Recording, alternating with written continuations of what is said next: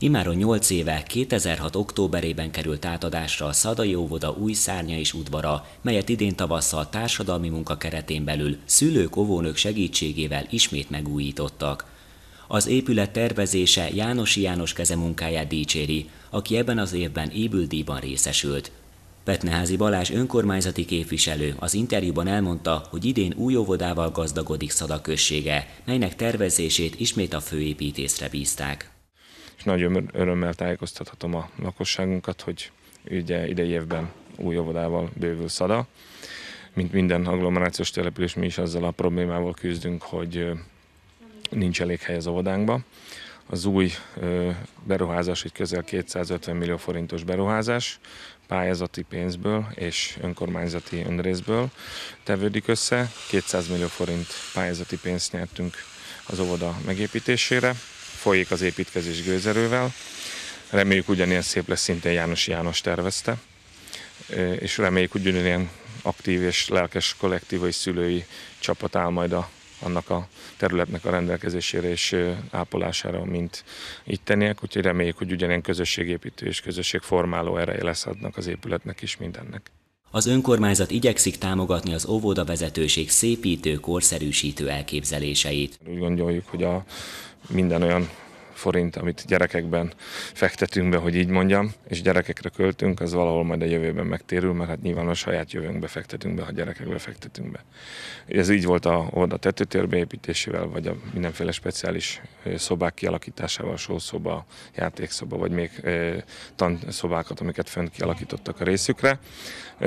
Most van egy tárgyalás alatt a óvodások kertbővítése, egy viszonylagos nagyobb területnek a bérbeadásáról, amivel megszélesítenénk a gyerekek játszó tér tehát sokkal nagyobb terület állna rendelkezésükre, és egy kicsit megpróbálnánk a mezőgazdaság irányba terelni őket, hogy már most szokják a földnek az illatát, és a földnek a szeretetét próbáljuk beléjük táplálni.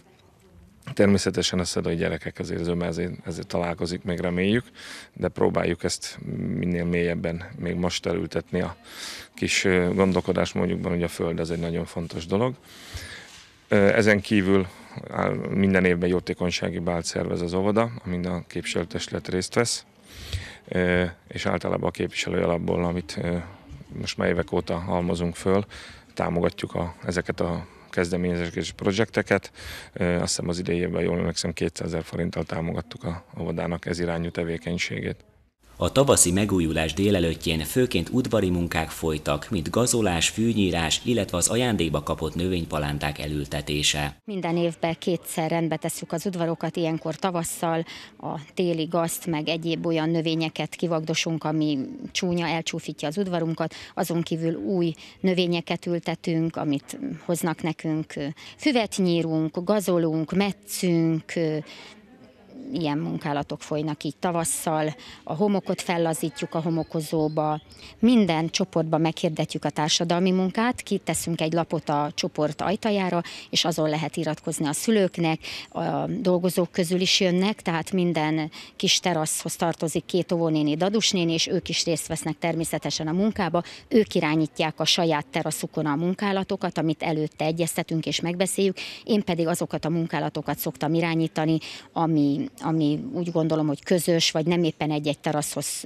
kapcsolódik, mint például a téli időszakban itt a, ebbe a kis udvarba, itt a sok helyen a fagy tönkretette a itt a beton között a réseket, és akkor egy apuka azt javította, a locsoró rendszert csináltuk most meg, tehát ilyen dolgokat szoktunk csinálni, ami azt én szoktam irányítani, ezt a munkálatokat, fölállítottuk fönt a napernyőt a kis udvaron. A szép panorámát a természeti adottságoknak köszönheti az óvoda, mindemellett rengeteg munkát igényelt a teraszos udvarok kialakítása. Elsődlegesen öntözőrendszer telepítettek, parkosítottak, továbbá a csoportok igényei alapján kültéri játékokat, mint például hintát, csúszdát, homokozót választottak, amikkel folyamatosan bővül az udvarok felszereltsége.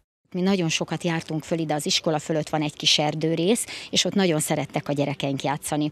És azt mondtuk, hogy ha egyszer kapunk itt udvart, én már régóta pályáztam erre az udvara, akkor én olyat szeretnék, hogy gyönyörű legyen a kilátás, és minden egyes csoportnak legyen külön udvara. Én ehhez ragaszkodtam, mert én úgy gondolom, hogy kell a csoportnak egy kis olyan millió, ami az övé szépítgeti, érzi azt, hogy az övé, és azt rendbe is kell tartani, és azt akkor ő használja. Tehát minden csoportnak lett egy kis udvara, és hát ilyen gyönyörű lett. Mi mindent csináltak rajta?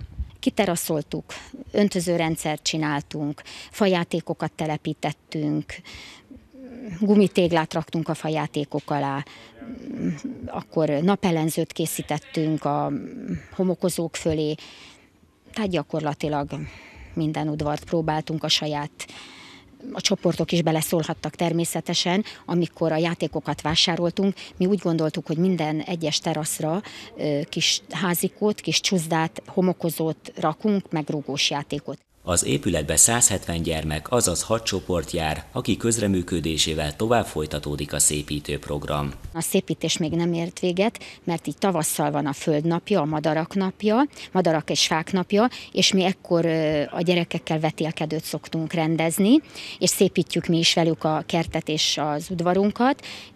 Minden egyes gyerektől fogunk írni, amikor kiszoktuk írni, hogy egy cserép egy nyári növényt hoz, a csoportok megoldják a a földet, én pedig szerzek nekik növényládákat, amibe beültetik, és akkor a, a teraszokat díszítjük vele, az ablakokat díszítjük, és ez lesz majd ebbe a hónapban, 25-én pénteken, akkor lesz ez a kis vetélkedős nap, amikor még szépítünk a gyerekekkel.